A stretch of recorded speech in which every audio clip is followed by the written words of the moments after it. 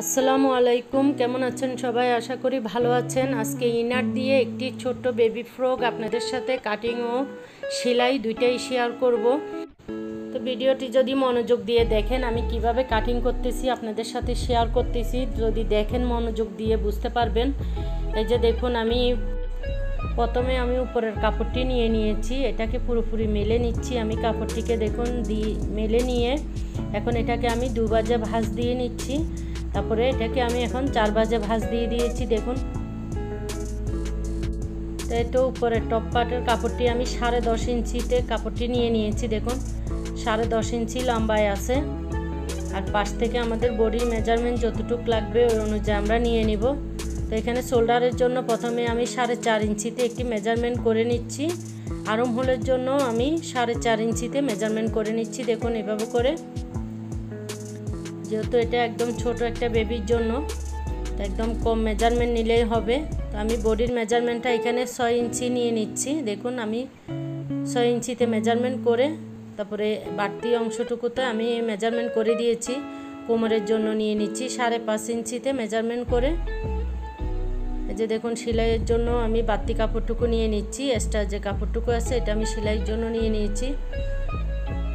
গলার মেজারমেন্টটাও আমি এখন করে নিব। দুই ইঞ্চি পাশ থেকে দিয়ে লম্বার মেজারমেন্টটুকু আমি তিন ইঞ্চিতে দিয়ে দিব। সামনে পিছনে আমি একই রকম গলা দিয়ে দিব। যেহেতু একদম ছোট একটা বেবির জন্য এটা তিন ইঞ্চি দিয়ে দিলেই হয়ে যাবে।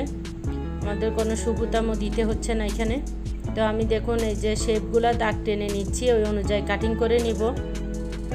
তো আমি যে ফ্রকটি বানিয়ে নিচ্ছি, মূলত এটা একটা টুকরা কাপড় দিয়ে আমরা করে নিচ্ছি। এখানে আলাদা করে কোনো কাপড় কিনা হয় নাই। এই কাপড়টুকু আমার কাছে ছিল। তো আমরা আমাদের ড্রেসগুলা বানাবার পরে যে কাপড়গুলো বেঁচে যায়, ওগুলো দিয়ে আমরা ছোট বেবিদের জন্য এই ধরনের ডিজাইন করে অনেক সুন্দর সুন্দর ফ্রকগুলো বানিয়ে নিতেই পারি। কাপড়গুলো আমরা নষ্ট যদি না করি, তাহলে অনেক সুন্দর সুন্দর ডিজাইন বানিয়ে নেওয়া যায়। তো আপনারাও এভাবে বাসায় একবার ট্রাই করবেন, কীভাবে বেবিদের জন্য সুন্দর সুন্দর ড্রেসগুলো করে নেওয়া যায়। তো দেখুন মেজারমেন্ট অনুযায়ী আমি কাটিং করে নিয়েছি। তো এখন এখানে যে এক্সট্রা কাপড়টা আছে, এটাকে একটু ডাউন করে শোল্ডারটাকে আমি কেটে দিয়েছি। তো দেখুন, এটা পুরোপুরি মেলার পরে আমাদের এই জায়গাটা বন্ধ ছিল, এটাকে এখন আমি কেটে আলাদা করে সারিয়ে নিচ্ছি। এই তো আমাদের দুটি পার্ট বের হয়ে আসছে এখানে। তো দেখুন, এমনটা হয়েছে। এখন আমি ইনারের জন্য যে কাপড়টা নিয়েছি, এখানে দুটি টুকরা কাপড় আছে এখানে। দেখুন, চারটা বাজে ভাঁজ দিয়ে দিয়েছি। এটাকে আমি বন্ধ সাইডগুলো আমার দিকে রয়েছে। খোলা সাইডগুলো সামনের দিকে রেখে এখন উপরের পাটটি বসিয়ে আমি ইনারের পাটটি কাটিং করে নিব। দেখুন, এভাবে সব দিকে মিল রাখতে হবে। মিল রেখে তারপরে কাটিংটা করে নিতে হবে। দেখুন, এভাবে করে কাটিং করে নিচ্ছি আমি।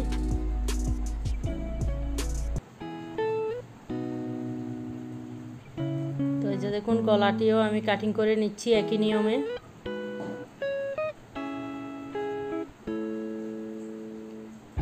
তো আমাদের উপরে টপ পার্টটি কাটা হয়ে গেছে। এখন নিচের যে কাপড়টি আমরা নিয়ে নিব কুচির জন্য, সেই কাপড়টিকে আমি এখানে দেখুন আপনাদের সাথে দেখিয়ে দিচ্ছি।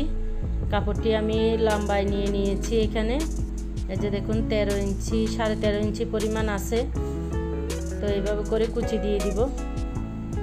বক্স কুচি দিয়ে দিব। এখানে আমি সেলাইয়ের সময় আপনাদেরকে শেয়ার করব।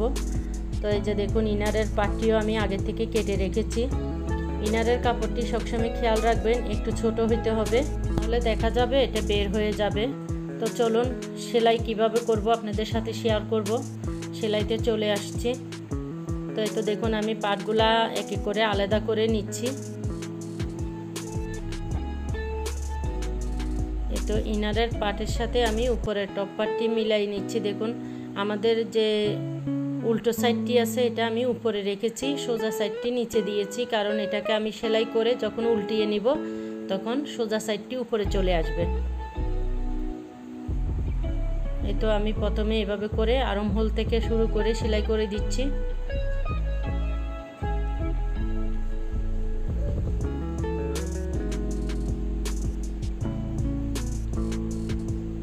আরম হোলের এই সাইডটাও আমি সেলাই করে দিতেছি একই নিয়মে।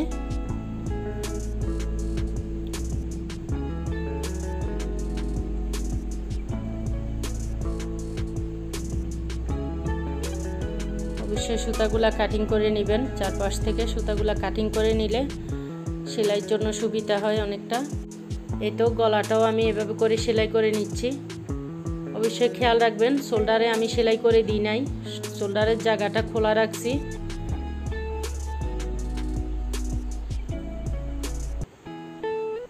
তো সেলাই করা হয়ে গেছে।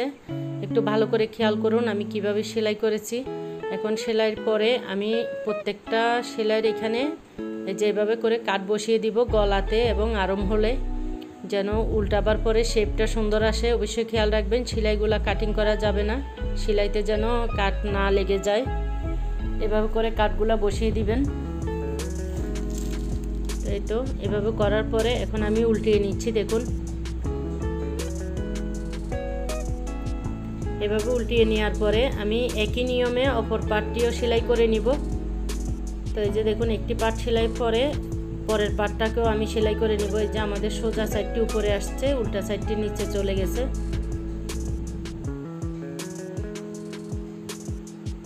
একই নিয়মে আমি এই পার্টটাকেও সেলাই করে নেব।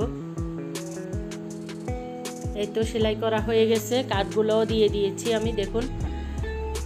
এখন আমরা যে একটি পাট উল্টিয়ে নিয়েছি, অপর পাটটি কিন্তু উল্টাই নাই, একটু ভালো করে খেয়াল করুন।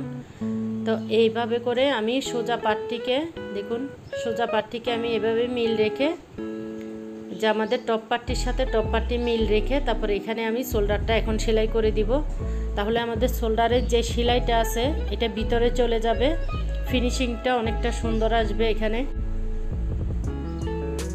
এই তো দেখুন, এভাবে মিল রেখে তারপরে এখানে সেলাই করে দিব। উল্টাবার পরে বুঝতে পারবেন সেলাইটা কেমন হয়েছে। একদম মার্কেটে যে রেডিমেড জামাগুলো আমরা এভাবে কিনতে পাই বেবিদের জন্য এই সেলাইগুলো মার্কেটে রেডিমেডের জামাগুলার মতোই হয়, এভাবে সেলাইগুলো দিলে একদম প্রফেশনালদের মতো হয়। তো আপনারাও এভাবে করে নেবেন।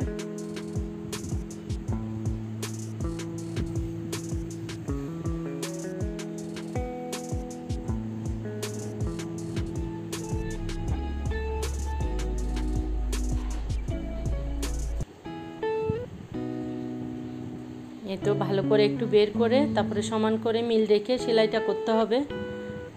তো দেখুন, এভাবে উল্টাই নিচ্ছি আমি।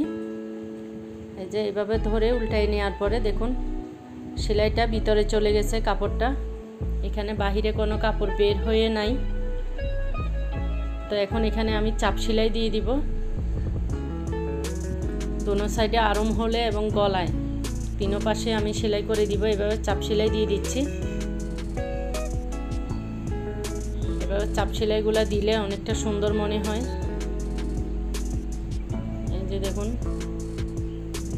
একই নিয়মে আমি সবগুলো সেলাই দিয়ে নিব, এদিকেও গলাতেও দিয়ে নিব। দেখুন, করা হয়ে গেছে। তো এখন এই কাপড়গুলোকে আমি জয়েন দিয়ে এখানে আটকিয়ে দিচ্ছি। ইনারের কাপড়টার সাথে উপরের কাপড়টা জয়েন দিয়ে দিচ্ছি। এভাবে করে দোনোটা পার্ট একই নিয়মে সেলাই করে নিচ্ছি আমি। তো দেখুন, হয়ে গেছে সেলাই করা। তো এই যে কুচির কাপড়টি নিয়ে নিয়েছি। নিচের যে পার্টটি হবে আমাদের, উপরের টপ পার্টের সাথে ওইটার সাথে আমি এখন দেখুন ইনারের পার্টটি জয়েন দিয়ে দিচ্ছি প্রথমে। এই তো প্রথমে একটি সেলাই দিয়ে এখানে জয়েন দিয়ে নিব। যেন উপরের টপ পার্টের সাথে যখন আমরা কুচিগুলা দিব, কাপড় দুইটা যেন লড়ে চড়ে না যায়, এই জন্য জয়েন দিয়ে দিলে সুবিধা হবে সেলাইয়ের জন্য। এই যে করা হয়ে গেছে।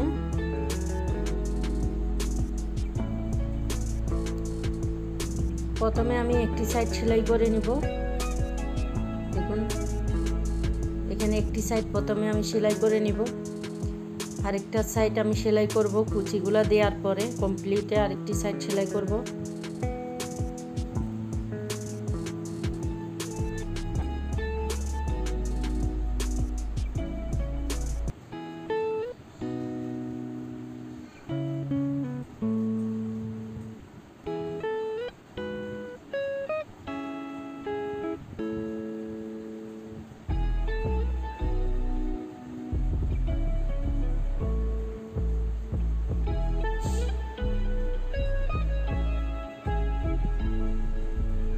আমি জয়েন দিয়ে দিচ্ছি। এখন এভাবে করে কুচিগুলা কীভাবে দিব দেখুন, এক ইঞ্চির মতো, এক ইঞ্চি পরিমাণ আমি কুচিগুলা দিয়ে দিব। এক ইঞ্চির থেকে একটু বড় হবে এটা। এক ইঞ্চির থেকে দুশোটা পরিমাণ বেশি হবে কুচিগুলো। যেহেতু এটা বক্স সিস্টেম করে কুচি দিয়ে দিচ্ছি আমি। তো এই যে দেখুন, এভাবে করে প্রত্যেকটা প্লেট আমি এভাবে করে দিয়ে দিচ্ছি।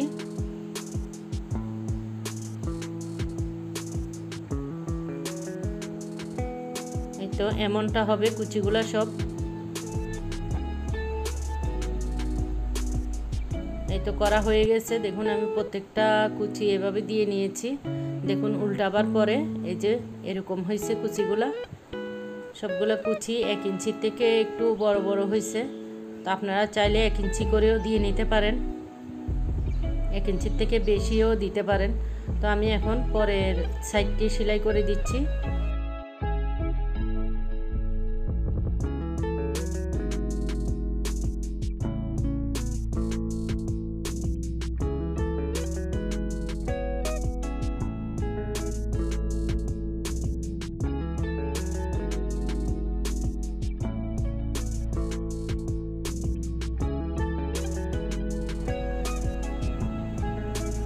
এই তো দেখুন, উল্টিয়ে নিয়েছি আমি জামাটাকে, এমন হয়েছে। তো এখানে আমি একটা ফুল দিয়ে দিব। ফুলটি বানাবার জন্য এখানে দেখুন আমি পাঁচ ইঞ্চি একদিকে, আরেকদিকে সাড়ে পাঁচ ইঞ্চি কাপড়টা নিয়ে নিয়েছি। তো এখানে ডাবল বাস দিয়ে আছে কাপড়টাকে, এখন আমি চারপাশে সেলাই করে দিব। এই তো দেখুন, এভাবে করে সেলাই করে দিয়ে আমি একটু করে মুখ খোলা রাখব এটা উল্টিয়ে নেওয়ার জন্য। এই তো, এখন এখানে যে এক্সট্রা কাপড়টা আছে, ওইটা কেটে দিব আমি। কর্নারগুলো কেটে নিচ্ছি।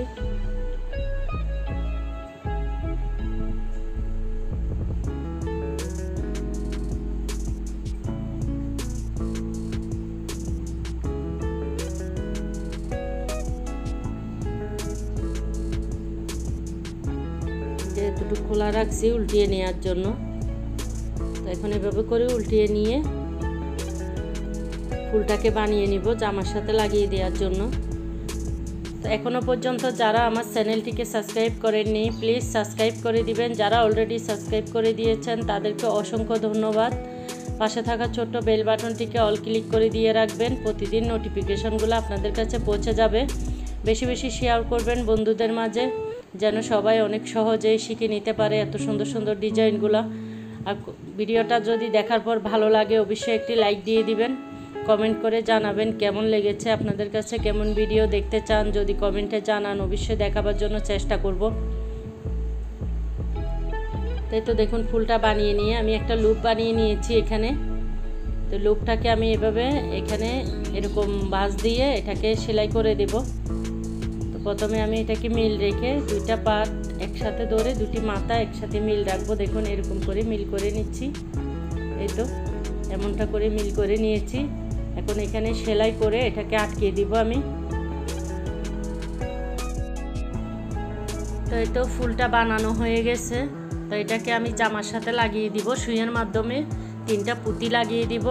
আরও সুন্দর লাগার জন্য যে লুপটি বানিয়ে নিয়েছি। এটার মাথায় আমি ফুল দিয়ে দিব। তো আশা করি পুরোপুরি ভিডিওটা আপনারা মনোযোগ দিয়ে দেখবেন। দেখার পর ভালো লাগলে অবশ্যই একটি লাইক দিয়ে দিবেন। সবাই ভালো থাকবেন, সুস্থ থাকবেন। আল্লাহ হাফেজ।